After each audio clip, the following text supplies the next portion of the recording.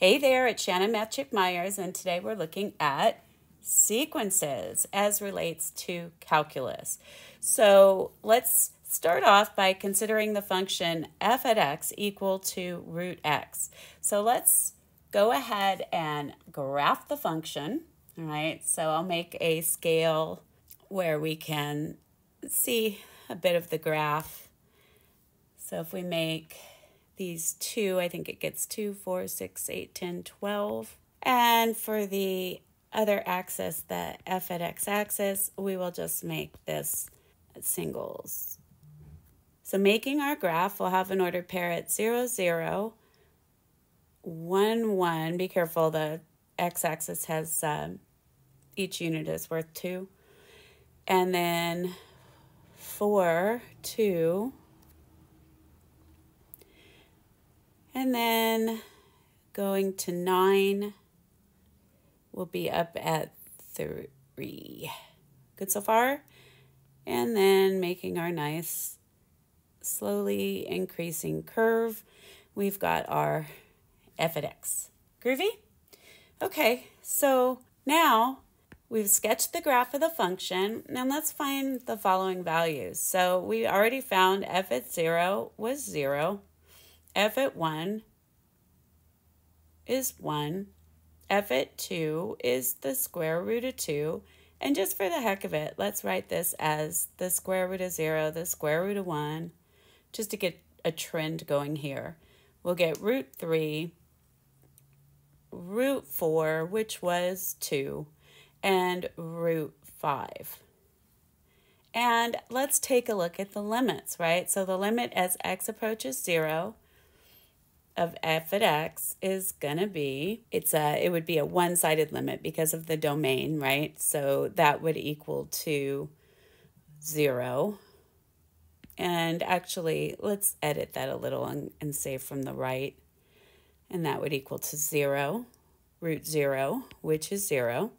The limit as x approaches 1 from the left and from the right is going to be equal to 1 root 1, which is 1, and root 4, which is 2 for the x approaching 4 root x. And then as x increases without bound, and we, you know, so x is going this way, right, without bound, um, what's happening as we trace our graph. Do you see how it's going to increase without bound, albeit slowly? All right. So let's just, I know technically it doesn't exist, but this is like our, our direction it's going is infinity, infinitely up. All right. Good so far? Excellent. Now consider a sub n equal to the square root of n. Now we're kind of transitioning, relating our um, function notation to sequence notation. So instead of f at 1, it would be a sub 1. So a sub 1 is going to be equal to the square root of 1, which was 1. And if we were going to draw on this graph here, we would just have this point right here. And then a sub 2 would be root 2, well, we don't know exactly what that is, but it's on the graph. We can just draw in that point. A sub 3 is root 3. So again, drawing in this point on the graph, do you see the difference? We're not connecting those dots. So a sub 4 is root 4, which we know is 2. And a sub 5 is root 5, and it would be about here. Groovy? All right, so basically the difference between the graph of a sequence and a function, um, of you know, a continuous function, not just a set of ordered pairs that's a function, is going to be that you just have the domain is your positive integers or non-negative integers. So sometimes we start a sequence at n is zero, and sometimes we start it at n equal to 1, sometimes even a little further to the right. So um, for the one that for this for this sequence here, we started it at 1, right? So it looks like f at n is equal to a sub n at all of the positive integers, right? So basically, the domain of a sequence.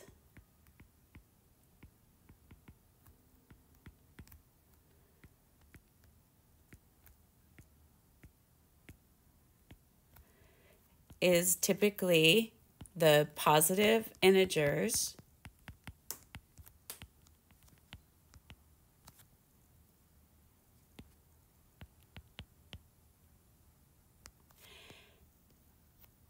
sometimes we start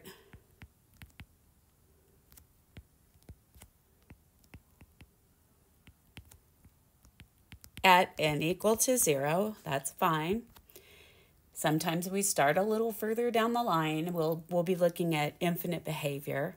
And then the range of a sequence, it can be pretty much whatever. Um, range of a sequence is the all the outputs. So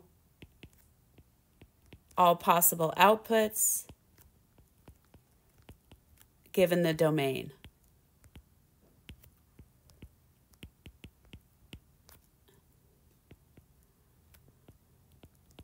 Groovy?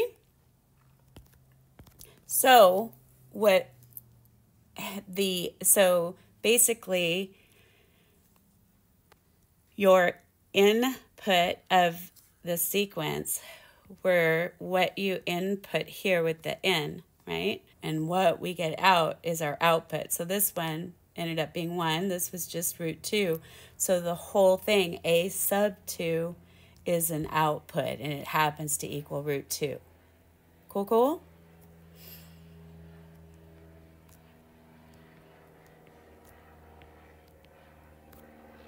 So the range are the outputs, and the domains, the possible inputs, the ends in this case. Groovy? All right, so here we go. We're going to sketch the graph of the sequence. We kind of cheated and not cheated, but we did it up there. Um, I'll do the same scale as we used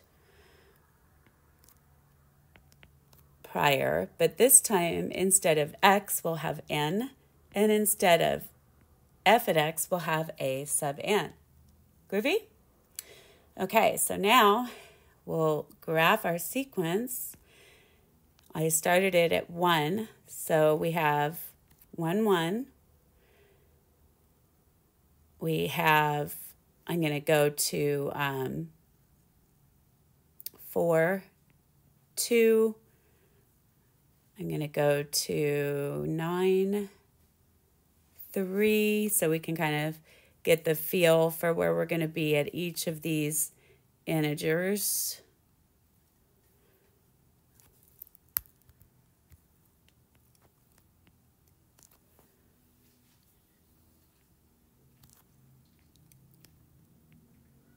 And it would just continue on in this manner. Cool, cool? All right. So looking at the two graphs we sketched as n approaches infinity, what does it look like? It looks like a sub n is, a, is also approaching infinity. So we would say that the limit as n approaches infinity of a sub n does not exist since it increases without bound. Thus, a sub n diverges.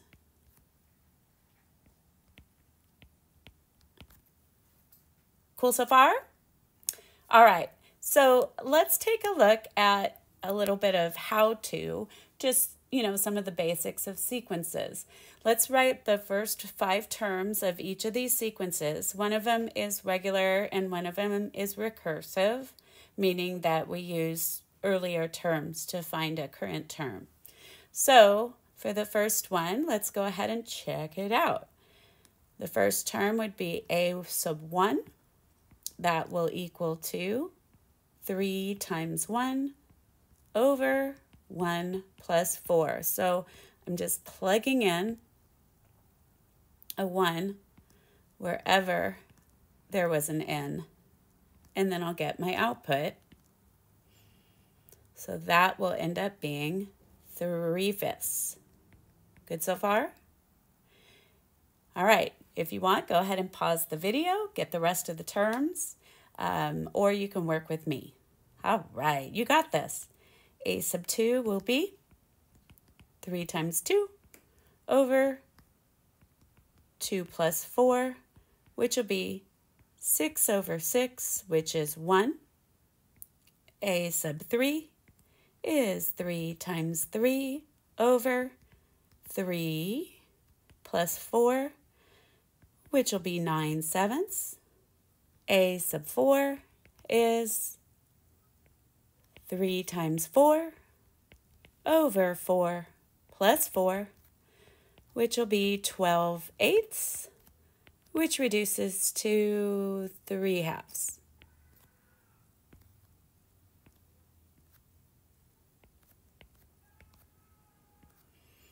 So really just like finding function values at the positive integers.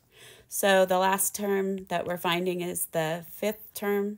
So 3 times 5 over 5 plus 4, which will be 15 over 9, which reduces to 5 thirds. Groovy? Awesome. All right. So we would represent these terms of our sequence, okay? So the outputs are the terms of the sequence, right? So we can write them as, as a list. It doesn't even have to be ordered. And usually we're putting them in set notation. So we've got 3 fifths, 1 9 sevenths, 3 halves, and 5 thirds. Good so far? Okay, so the tricky part, right, is that sometimes, you know, we reduce these fractions or these expressions or terms and um, so it, it's hard to see a trend. So it can be really hard to find the nth term of a sequence. And just remember that the terms of the sequence were the outputs. So A1 had an output of 3 fifths, A2, 6 6, which was 1, etc. So these guys here are called the terms in yellow. Groovy? Okay, so moving right along. Let's take a look at this recursive sequence. So we need the term from before in order to find the next term. So the bonus here is we already have the first term, which is super awesome. So now we just need to take a look at how to find this second term. So we want to write it in terms of something plus 1. So a sub 2 will be a sub 1 plus 1. So k is 1 in this case. And that will equal to 1 third times a sub 1 squared. Well, what was a1? a1 was, sorry, a1 was 6. That was given. And we'll be squaring it. So 1 third times 36 will give us 12. Good so far? All right. So this one a little bit different. To find that second term, we had to do a little bit of different type of work. We're using we're using this K, all right? And a prior term. So we plugged in a sub 1 to find the second term. Next time we'll have to plug in a sub 2, right? And, and so on and so forth. So a sub 3 will be a sub 2 plus 1, which is 1 third times a sub 2 squared, which will be 1 third times 12 squared, which is 1 third times 144, which gives us 48. Cool, cool? Actually, we don't need to box these. We'll put them on a list or a set. All right, so again, we're taking our K and plugging it in, and then we're putting in that prior term. I don't know if we'll have enough colors for that, but this was the prior term. And we got that from over here. All right. We'll probably have to get a calculator out pretty soon. A4 will be A sub 3 plus 1, which is 1 third, times A 3 squared, which is 1 third, times 48 squared, which will be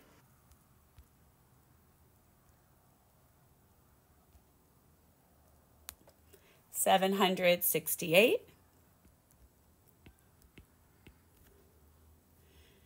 And then the fifth term of the sequence will be a sub 4 plus 1, which is 1 third times a sub 4 squared, which is 1 third times 768 squared, which will be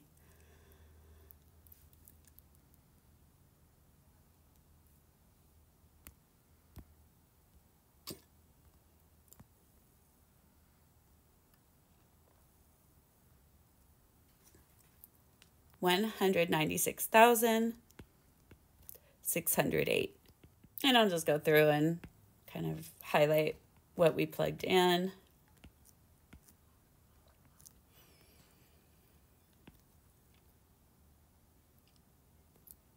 And that one.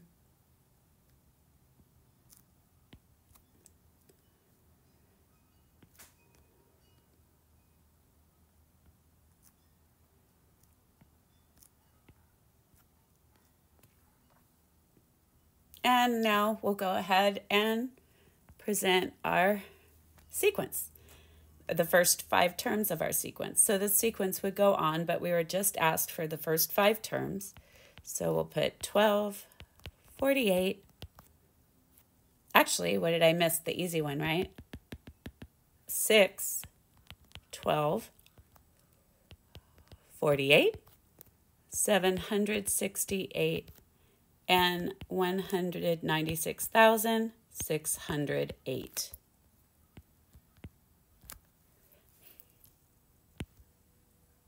And we're good to go.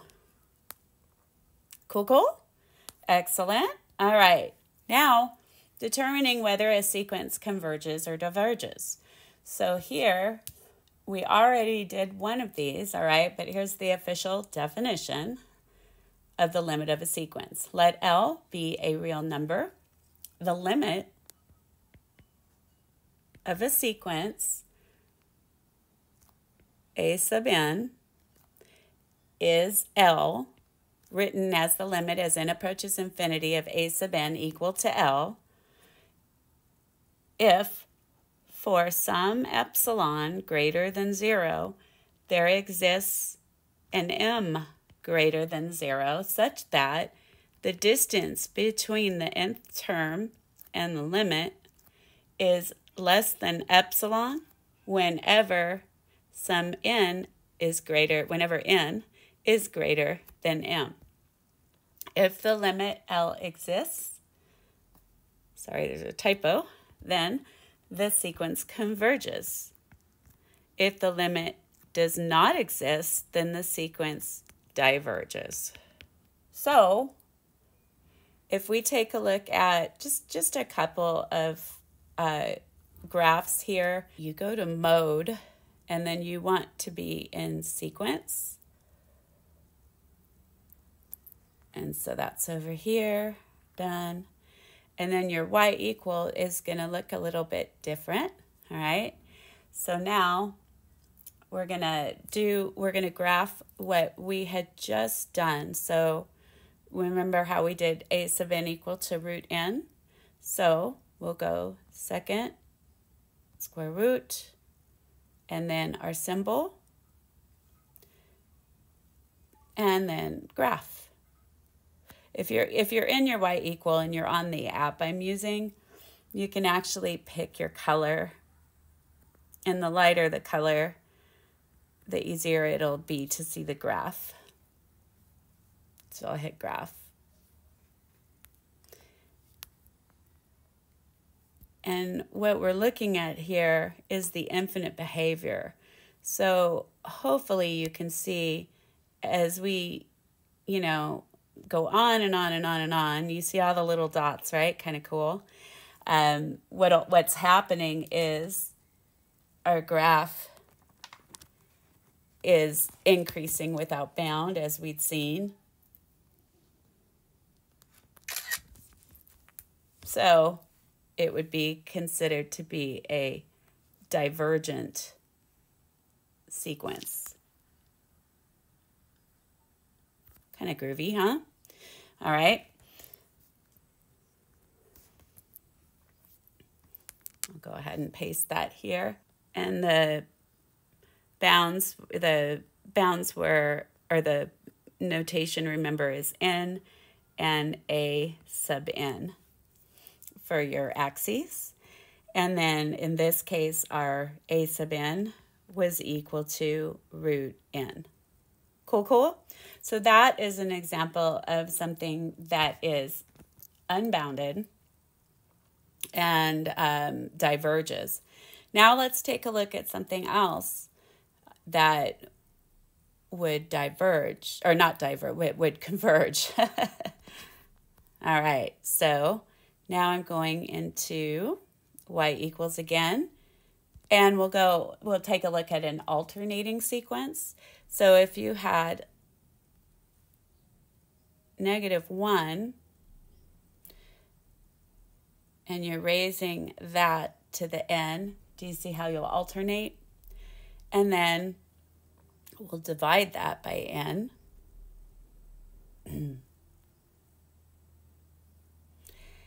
And let's take a look at this graph and see what happens to it.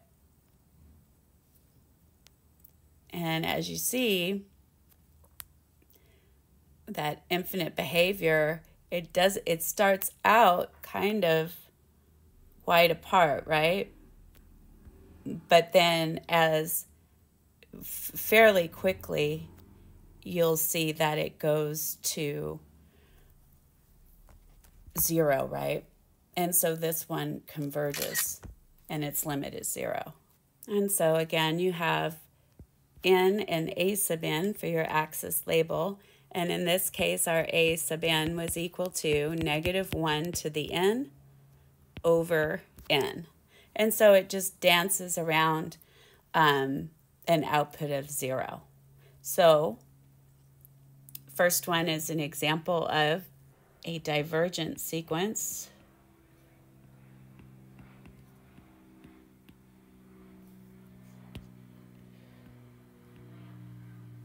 And as we saw, the limit as n approaches infinity of a sub n was infinity. And then here, this is an example of a convergent sequence.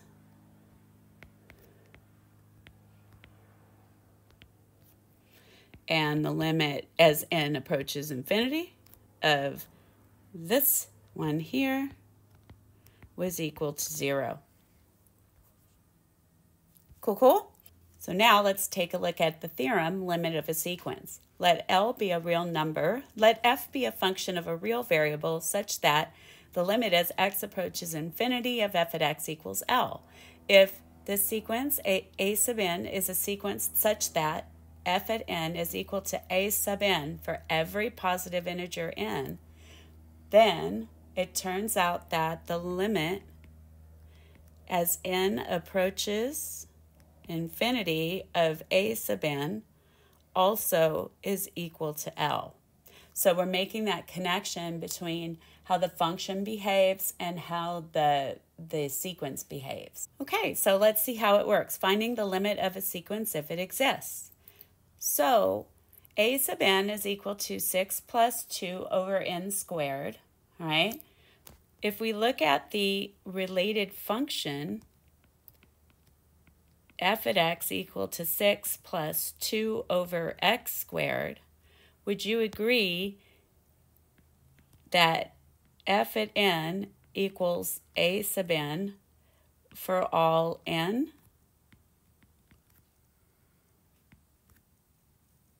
I'll say does. And I would say yes, right? And so we know that the limit as x approaches infinity of 6 plus 2 over x squared equals 6 plus 0, which is 6. And so it turns out that the limit as n approaches infinity of 6 plus 2 over n squared will also equal to 6. And what does that mean? That means that the limit is 6 and a sub n equal to 6 plus 2 over n squared converges. Groovy? All right. So similarly, you don't write that every time, obviously, but I thought I'd write it that first time just so we could check out how that works with the theorem. So now let's just work on this one. So the limit as n approaches infinity of cosine at 2 over n will be equivalent to cosine evaluated at the limit as n approaches infinity of 2 over n, which will equal to cosine of 0 which is 1. So the limit of this sequence is equal to 1, and so a sub n equal to cosine at 2 over n converges. If it has a finite limit, it converges. Now let's look at writing a formula for the nth term of a sequence.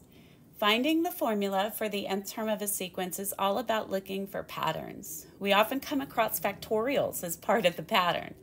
Factorials are factors which decrease by 1. So 5 factorial, read as 5 factorial, is 5 with this exclamation mark. That's read as factorial. And that would be 5 times 4 times 3 times 2 times 1, which happens to equal to 120. We will be working with unknown factorials. In general, n factorial is equal to n times n minus 1 times n minus 2 dot dot dot times 3 times 2 times 1. And since we're in multiplication, 0 factorial is equal to the identity element for multiplication, which is 1. Groovy? Okay, so now let's simplify the ratio of factorials, all right? So the trick here is you figure out how you, instead of doing this all on your calculator, you want to be, because you, you'll have n's instead of numbers. And so you want to figure out what you can start dividing out. So 8 factorial is going to be less than 10 factorial. And so keep the 8 in terms of the factorial. Now 10 factorial, I want to divide out 8 factorial of my 10 factorial. So do you see that if I multiply it by 10 times 9, that's the same as 10 factorial? Are we good with that? So 10 factorial is 10 times 9 times 8 factorial. And then what we can do is completely divide out the 8 factorials to be 1, and we end up with 1 over 90. And we're good to go. Groovy? Now, the next expression is the same as the one we just did. Did you see that? Except it doesn't have actual numbers. So what did we do? The one that was smaller we kept as a factorial. Now we want to divide out the n factorials. So what would the next bigger number be? Beautiful. It would be n plus 1. And then we need to go one more n plus 2. So do you see that's the same as n plus 2 factorial? Okay?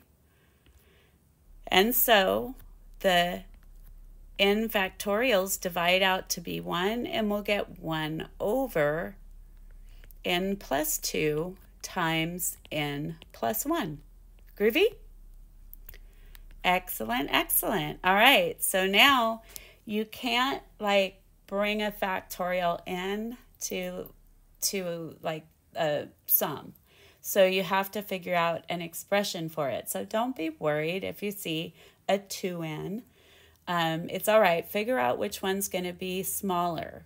Which one do you think? 2n plus 2, that quantity factorial, or 2n factorial?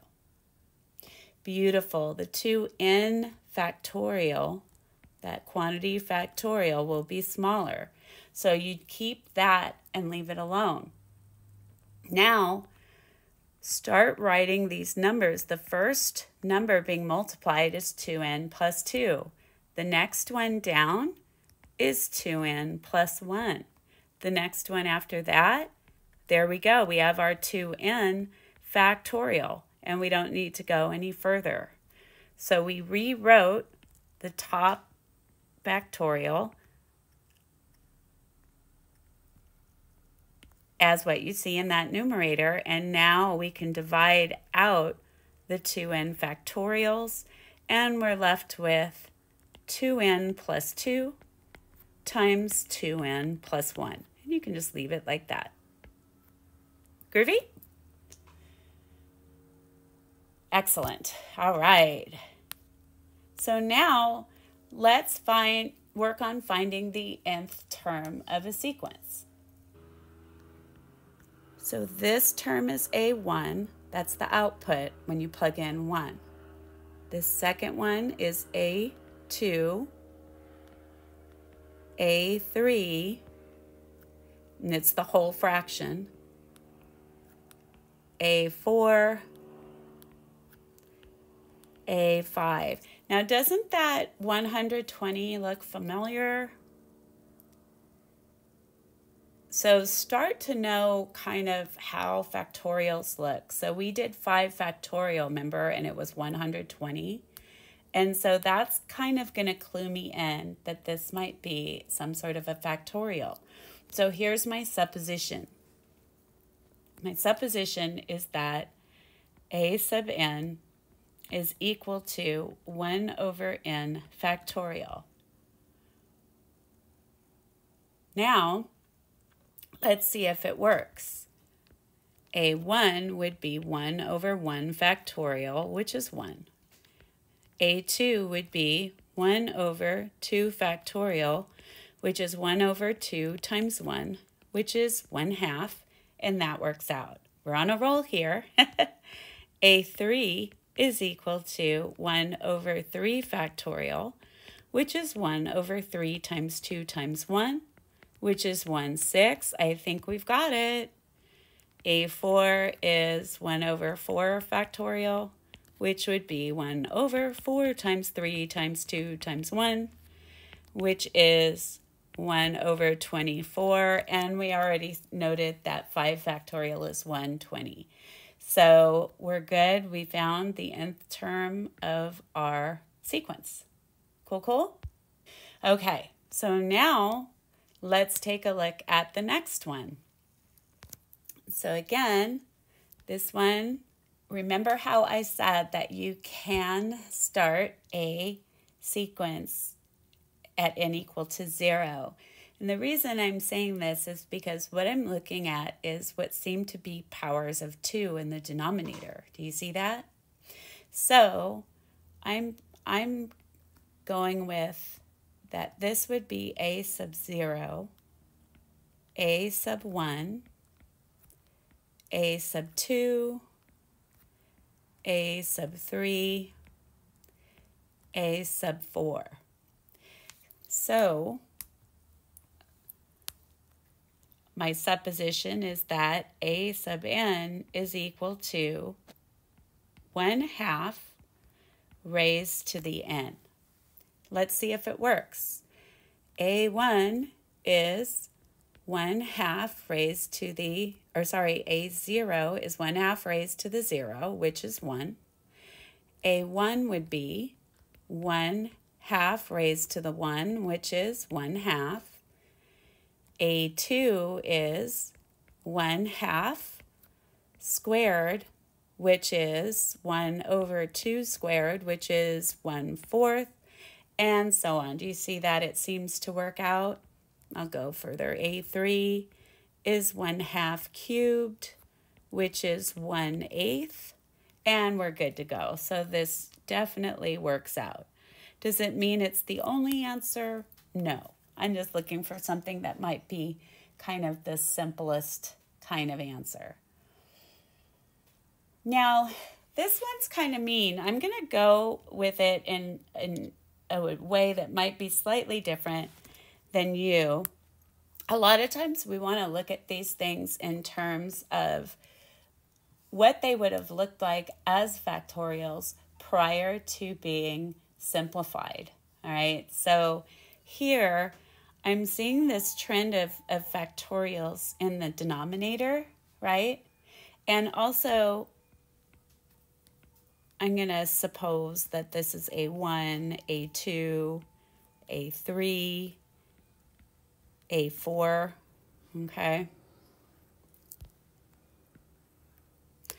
And so let's see what we got going on here.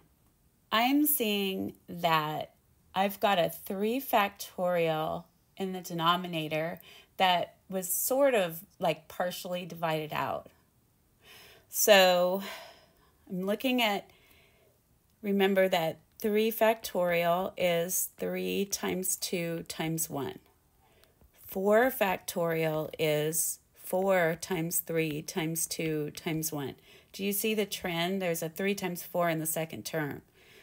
5 factorial is 5 times 4 times 3 times 2 times 1. 6 factorial is 6 times 5 times 4 times 3 times 2 times 1. So, okay, let's check this bad boy out. I'm looking at the first one, a sub 1. So n is 1. And I've got a 3 factorial in the denominator, right? And so here's my supposition. A sub n is going to be, I think I'm going to have n plus 2 factorial in the denominator. And a1, that works out, right? Because that would give me 3 factorial in the denominator. Now, if I have n factorial in the numerator, then all of the factorial in the numerator would divide out. Do you see that? That would end up giving me, you know, if I divided it out, let's do some side work. We did this earlier, remember? And we got n factorial over n plus 2 times n plus 1 times n factorial and those factorials divided out. And do you see we get the same thing? So let's check it.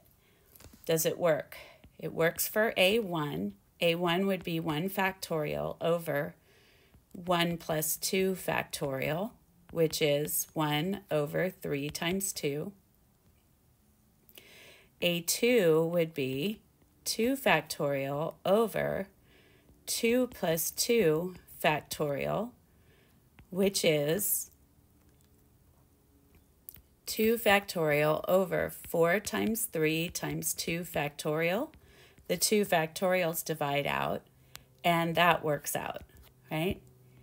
A3 would be 3 factorial over 3 plus 2 factorial, which would be 3 factorial over 5 times 4 times 3 factorial.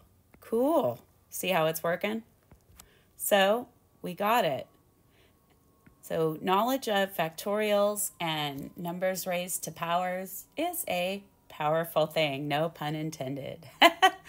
All right. So properties of limits of sequences is next up on the list. And if we have the limit as n approaches infinity of a sub n equals L, which is finite, and the limit as n approaches infinity of b sub n equal to k, which is another finite number, then the limit of the sum of the sequences as n approaches infinity is going to sum or difference would be the limit, the sum or difference of the limits. Okay? And then the limit as n approaches infinity of a constant times a sub n. C is a constant. I should put that here. C is a constant. Will be C times L. Oh, here it is. C is any real number. And the limit is n approaches infinity of the product of those limits would be the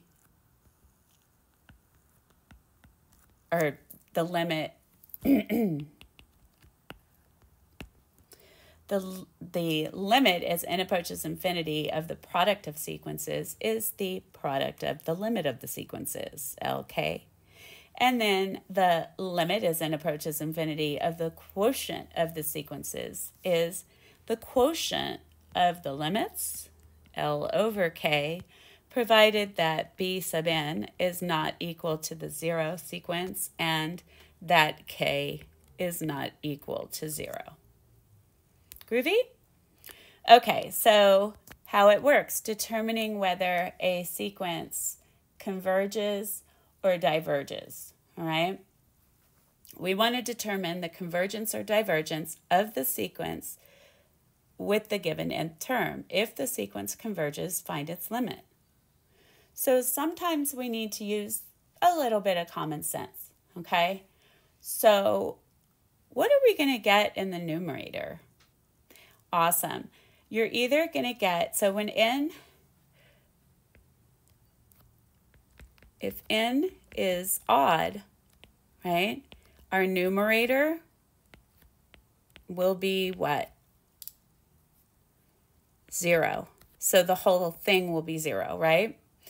If n is even, our numerator is 2. Cool so far?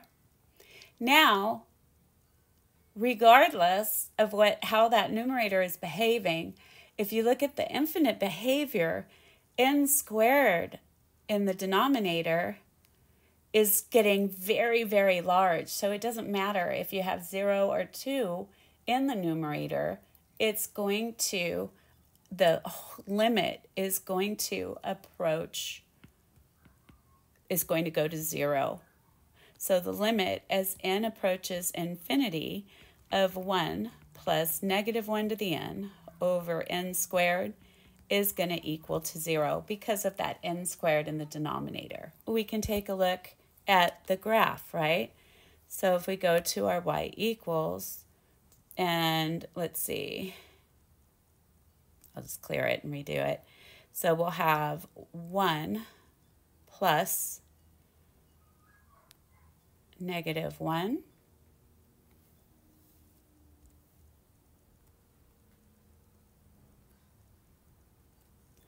divided by n squared and we graph. And you'll see it, it ends up closing out pretty quickly, right?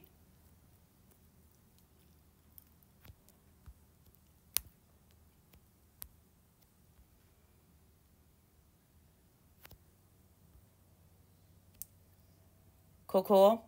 So we'll go ahead and take a little picture of that. All right, and then we have on this one, a sub n is equal to 1 plus negative 1 to the n over n squared. We've got n as this axis and a sub n as the other axis. Groovy? So there we've seen graphically and using our mad knowledge of fractions and infinite behavior, we see that the limit of this sequence is going to approach zero as n approaches infinity. Cool, cool? For the next ones, we're going to work this out by using some algebra to mess them up a little so that we can see where our limit goes. So I'm going to go ahead, I'll go ahead and just simplify prior, all right? So if I divide by the cube root of n, because that is the highest power in that denominator, I will end up with a sub n will equal to 1 over 1 plus 1 over the cube root of n. So now the limit as n approaches infinity of this new and improved expression is going to be equivalent to the limit as n approaches infinity of 1 over the limit as n approaches infinity of 1 plus the limit as n approaches infinity of 1 over the cube root of n using our properties of limits. And that will equal to 1 over 1 plus 0, which is equal to 1. Cool, cool? And then you can always verify using the graph. All right, so now, again, a little bit of simplifications in order here.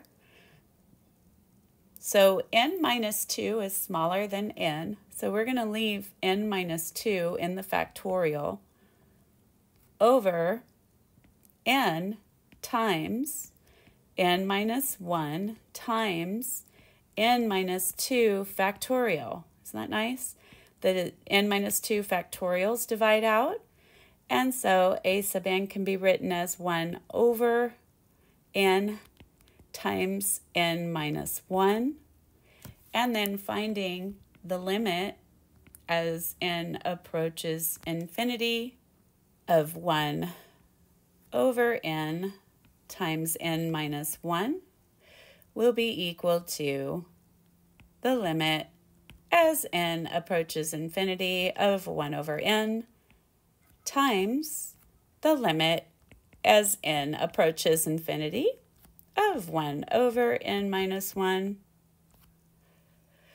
both of which will decrease without bound, 0 times 0, which is 0. Groovy? Awesome sauce. Alrighty. So, and then I think, let me make sure I'm answering the questions. I wasn't. So we would say that the limit is zero for the first one, part A. And so since we found a finite limit, A sub n converges. Here, again, we found the finite limit was 1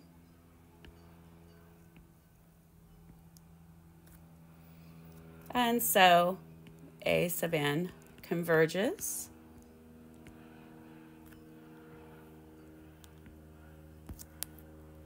And over here, again, found a finite limit of zero, and so A sub n converges.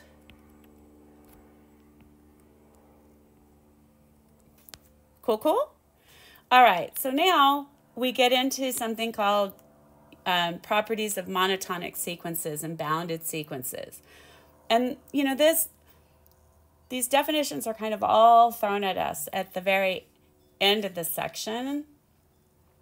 But it's it's something that we use a lot throughout the chapter. So kind of take a moment to soak it in and um, and check it all out and go back to it if you need to.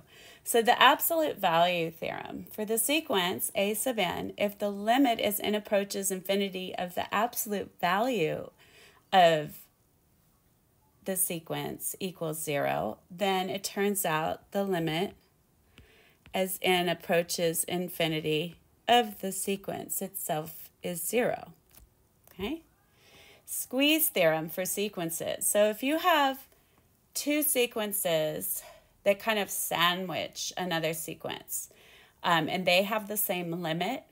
So we're talking about some A sub n and B sub n. They both have a finite limit of L as n approaches infinity. And there exists some integer, capital, actually lowercase n, such that A sub n is less than or equal to some C sub n which is less than or equal to b sub n for all n. Then it turns out that the limit as n approaches infinity of c sub n will also equal to L. Cool, cool? So let's see how this squeeze theorem works. We've got this sequence here.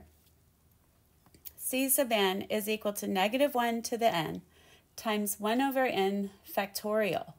If we look at a sub n is equal to negative 1 over 2 to the n, and b sub n is equal to positive 1 over 2 to the n. Maybe not right away, but over time, the c sub n, the given um, sequence we're working with, will be in between them. The limit as n approaches infinity of negative 1 over 2 to the n is 0, and the limit as n approaches infinity of positive 1 over 2 to the n is equal to 0, because those denominators increase without bound. Okay? So, what'll happen is this. Let's just take a look at these, we'll do it graphically as well, but let's just take a look at, you know, term by term what happens. So A1 is going to equal to negative 1 over 2 to the 1, which is negative 1 half, right? B sub 1 will equal to positive 1 half, and C sub 1 is going to equal to negative 1 to the 1, it stays negative, and then 1 over 1 factorial is 1. So you'll have negative 1. So it's not in between the a, the a sub n yet. But as we go on, a sub 2 will be negative 1 over 2 squared, which is negative a quarter. b sub 2 will be positive a quarter. And c sub 2 will be equal to, now it'll be positive, the negative will square away, 1 over 2 factorial is 1 half. So still not in between those values, but getting closer. A3 is going to be negative 1 over 2 cubed, which is negative an eighth. B3 will be positive 1 eighth. And C3 will be negative 1 over 3 factorial. 3 times 2 is 6. So do you see how we're getting close? Excellent. Now, let's take a look at the next one. A4 will be negative 1 over 16. B4 will be 1 16th. And C4 will be 1 over 6 factorial, which is 1 over 24. Now it's going in between those two values. So looking at this, just kind of using our own table that we made, we'll do one more just to show you. But this will give us 1 over 32 for A5. B5 will be positive 1 over 32. And C5 is going to be 1 over 120. Cool so far? Okay, so it turns out that by the squeeze theorem,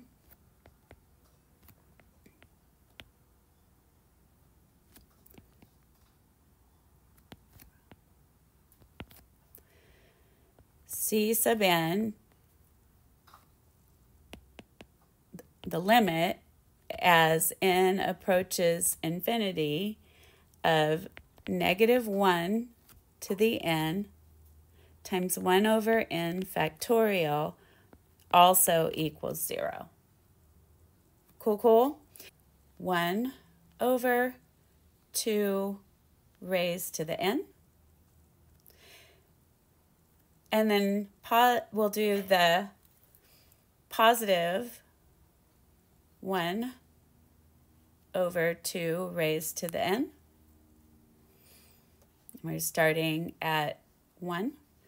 And then we'll do our c sub n, which was negative 1 raised to the n divided by n factorial will be under math probability. And let me put the symbol in again, and then I'll delete this one out. And then um, I'm going to change those colors around a bit.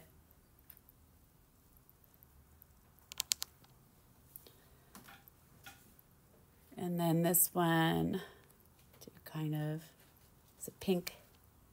Okay, so let's see what we've got going on. So when we graph, we will have, it's really kind of cool to see. Here we go. You can, so we, we can see how they don't start out by being in between each other, but as time goes on,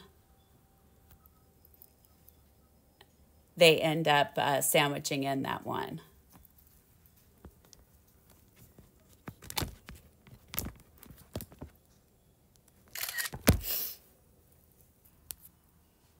All right, so next up, we're at monotonic sequences, all right? So a sequence, A sub n is monotonic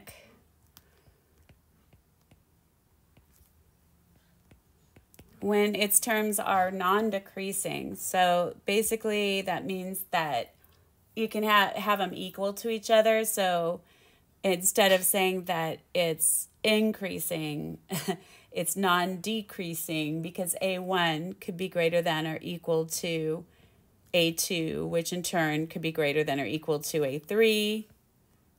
And you keep going till you get to A sub n and it keeps trending. Or when its terms are non-increasing, which would mean that A1 could be less than or equal to A2, less than or equal to A3, less than or equal dot dot dot, less than or equal to an, and continuing. And a bounded sequence, a sequence A sub n is bounded above when there is some real number, m, such that a sub n is less than or equal to this m for all n. The number m is called an upper bound of the sequence. Now, a sequence A sub n is bounded below when there's some real number, capital N, such that capital N is less than A sub n, less than or equal, sorry, my bad, for all n. The number n is called a lower bound of the sequence. Now, a sequence A sub n is bounded when it is bounded above and below.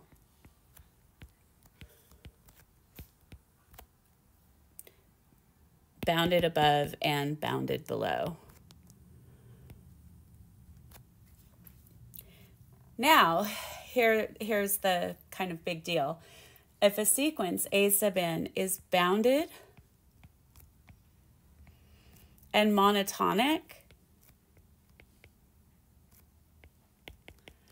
it converges. Cool? So let's take a look at this next example to see if this sequence is monotonic and whether it's bounded. So here we go. Um, with this one, you want to kind of, again, let's play around with that numerator. Recall that negative 1 is less than or equal to cosine it in less than or equal to 1.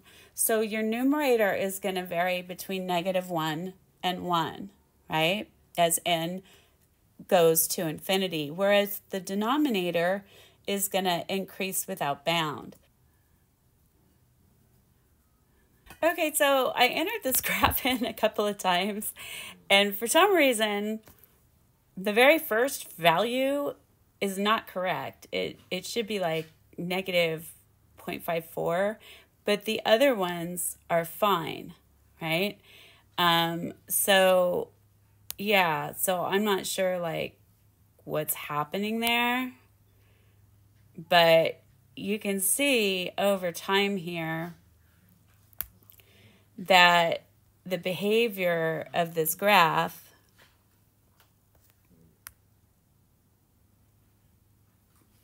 let's see what this value is at. That's at n is 2 it's saying that n is 1 has an output of 1 but that should be like 0.54 or something. Um, but the rest of them look good. So we'll take a look at this at this graph and um, what you can see is that you do have a bound from above and a bound from below. We'll take a picture and then work with this picture. Okay, so as you can see from as you can see from the graph, right, you're bounded above. Um, I'm gonna I'm gonna enter this one in. It was it was acting funny. It's supposed to be about neg when when uh, when n is one, it, it should be about negative point five four ish, but it was being weird and it was saying it was one. So I'm going to put that one in. But do you see that you've got this bound above, right? Up here. So we're bounded above at about negative 0.54 and we're bounded below here. So you've got the, the bounding going. And so now we just have to look, is it monotonic, right? So bounded, yes. Okay. So A sub n is bounded. So now we want to look, is A sub n monotonic? Well, A1 is greater than or equal to A2, but that is not greater than or equal to A3. So it's not going to be monotonic, but not monotonic. Okay? And so that's kind of a, a visual way to take a look. But as you can see, as in, you know, as you go, as n increases without bound, it this the sequence does converge to zero, right? It has a limit of zero. Cool, cool? Okay, so there we go. I hope you have a wonderful morning, afternoon, or evening whenever you're watching this show. And if you like what I'm doing, hey, hit that subscribe button, that like button, and maybe share the video. Bye.